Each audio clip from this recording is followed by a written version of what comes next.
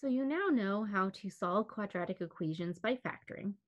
Um, we're going to take it a little further and do two extra examples of how uh, factored form and quadratic functions are related to each other. So the first one we're going to look at says, use factored form to graph a quadratic function. Um, now to me this is a little silly because honestly if I gave you something like f of x equals x squared minus 2x minus 8, uh, you can just find the axis of symmetry, just graph it like normal.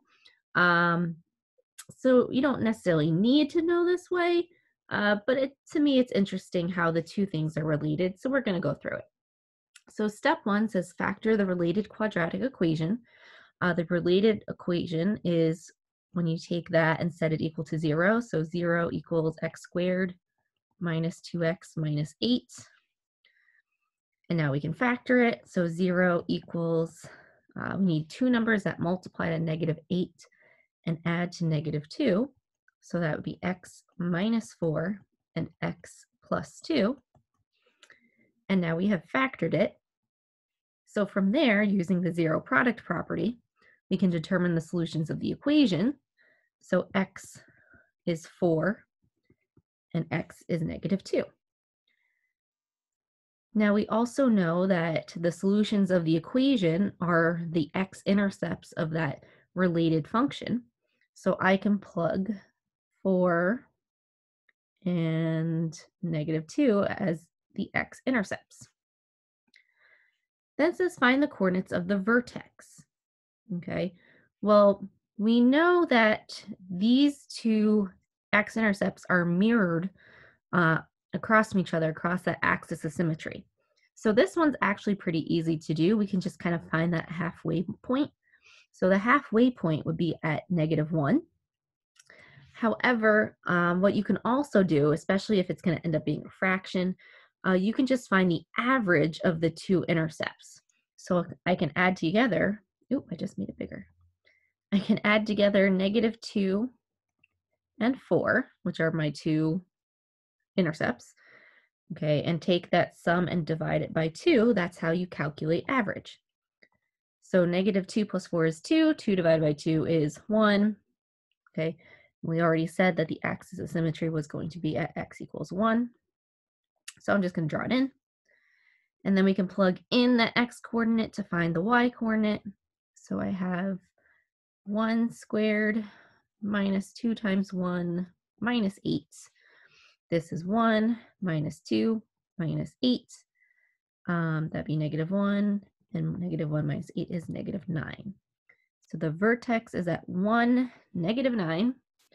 I have my two intercepts, so I'm going to take my points and connect them with the parabola. And that is how you can graph uh, a quadratic function using factored form. Okay, and our second example, uh, we're going to write the factored form of a quadratic function. So step one is to find the intercepts. And we have our graph down here. Our intercepts are at negative 5 and 1.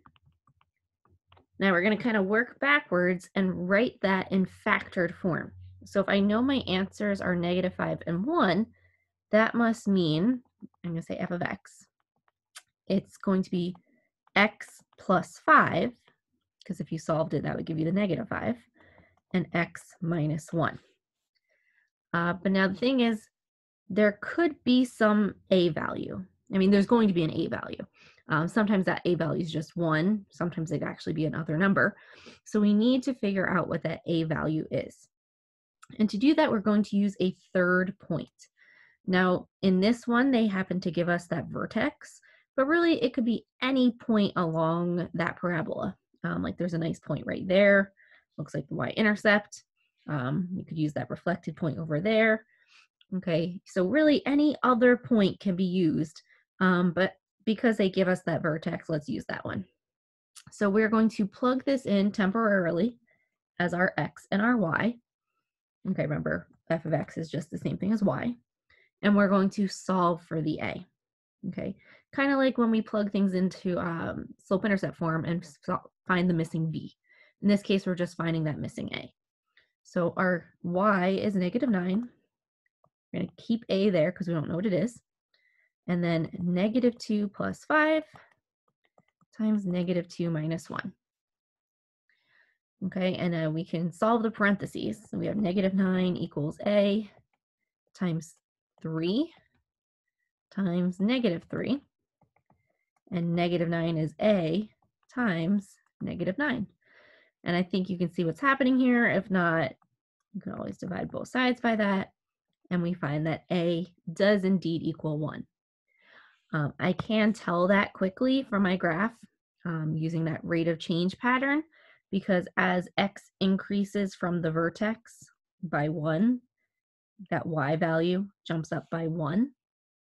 And we know that in the parent function, okay, it's going to jump by 1, then 3, then 5. So in this case, that a will be equal to 1. Um, but if you can't tell from the graph, then you can always just plug things in and find that missing a. So final answer, uh, it's going to be f of x equals a is 1. So to me, it doesn't make sense to write the 1. So I'm going to say x plus 5 times x minus 1. And that is our function.